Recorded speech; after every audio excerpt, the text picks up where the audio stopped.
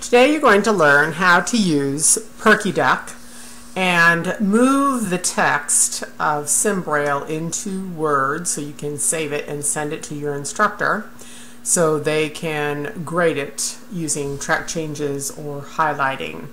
So I've downloaded PerkyDuck from Duxbury. If you don't know where that's at, do a start key 3. Windows 3. Well, I do a start Mozilla key 3. Firefox. You start Firefox. blank. Mozilla Firefox. Control T. Control T. D. Type in Duxbury. U R Y. And Duxbury. I've got duxburysystems.com already in my autofill because I go there often. Mozilla Firefox. Braille translation. Once you get Duxbury up, do an insert F7 Links list dialog. And go to all products. Announcing A. All products. And enter. Duxbury products dash Mozilla Firefox. Duck.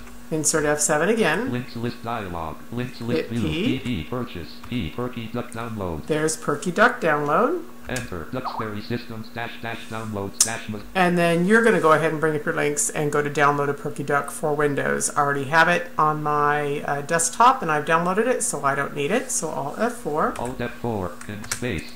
Now, once you've downloaded it, I'm back on my desktop. Start key M. Windows M. Desktop. Folder view list view. Perky duck 11. I'm on 30 PerkyDuck. If you are not 41. on PerkyDuck, hit P for PerkyDuck. Enter. Enter and open. Perky duck. Perky duck. Increase the size of any win- window that you have by start key up arrow. Windows up arrow. Control N for a new document. Untitled Braille document 1. Edit. Type in text. Now I'm just going to braille the alphabet so you can see how this is done. You're going to use S, D, F, J, K, L on your keyboard. A. Space. B. Space. C. Space. D. Space. E. Space. As you see, space. it uh, brailles out really nicely. Enter.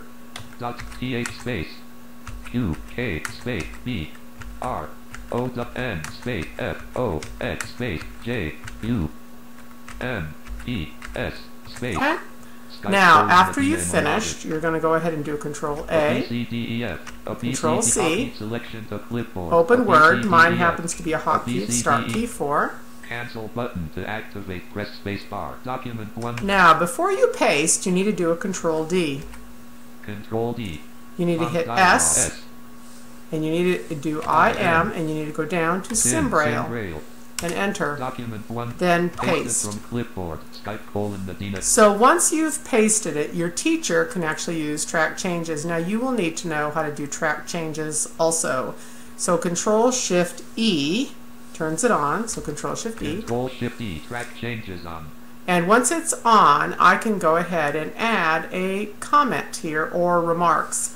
Let's say I want to highlight this. I'm going to Control Shift Left arrow. Selected. Alt, Upper ribbon. A. H I. Lower ribbon. and I've view highlighted edit. it. And then uh, you can actually make a comment on that. So I'm going to go ahead and Alt. Home tab. R. R. Review tab. C for comment. Menus. Print view. Edit. C. E. C. H. A. I. Edit. One. Here. Two. And then your instructor will go ahead and put something like check this in 1.2 uh, if it's a code issue or brow contraction issue. Now you're going to hit escape, Escape. and the way you will check that is when you get her work, you're going to make sure your talking software is on and Control Shift apostrophe. in one items. Reviewers comments dialog. List one. List view. Check this in 1.2. Okay, and you can hear what you need to do. One of one. Escape. Print view. Edit. You can also Control Home, Top of file. A B C D E F. down arrow, QKBR left bracket and Fox as comment jumps comment N. Okay, and it tells you there is a comment there. So that is going to be how you do that. Now, if you do not have the Sim Braille font on your computer, this is how you do that. So I'm going to start Firefox with Start key 3. That's Windows my hotkey. Mozilla Firefox about colon blank. Control T. Mozilla Control E. Control E. Navigate. Type in Sim Braille font. Font. Enter. Font dash Google search. Now, there's good fonts and bad places to go. Uh, I'm going to hit header and I'm going to go down to Braille font. This is from Duxbury. This is a legitimate place to uh, get it, so you actually don't download malware with it. So H for header. Search results heading level Search 2. results. Braille dash font dash some Braille dash Nope. Google Braille font heading level 3 link visited. Yes. Enter main region. Braille font heading level 3. And then you'll bring up your links and where it says click here to download the Braille font and you can download your Braille font and then you can actually do that. So that is how you're going to do uh, PerkyDuck. Now let's Alt Tab Alt back to Word. Document 1 left bracket compact. To save this, you're going to do a, a Control S. Control S. Save as dialog. File name. Name it, edit, And then of course you can go ahead and save it and ship it off. Now, if you happen to be here and you have Outlook, which is a client, you can hit Alt, go to your file, File F, menu. Leaving menus. D to save and send. A for an attachment. And Outlook will open. To edit, type in text. D N Now I'm just going to type my email in here. L G O N Tab down. Tab, tab, that field, S E E C A T A Type your message. D, attack, D N I and send with Alt S. Denise, Alt S, Now, if you send this way, you must open Outlook and force save and send, otherwise it just sits in your client. box, edit, view key, out, might enter, So I'm typing Outlook, opening dash Microsoft and when it opens, I'm going to hit F9 to force send it. Okay, F9 Inbox, now, F9, and it force sends and receives inf- information.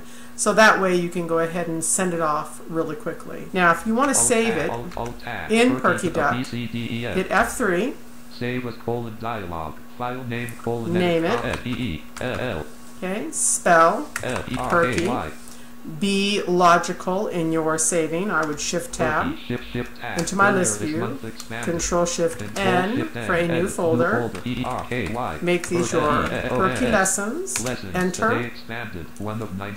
Enter and open. view. Items view list. Alt S to save. A, B, C, D, F, Q, And then you can keep very C, D, F, organized with all your A, B, a, files. B, C, bar, When you're done, Alt. F4. Leaving menu bar. List Alt F4, and that's how you do that.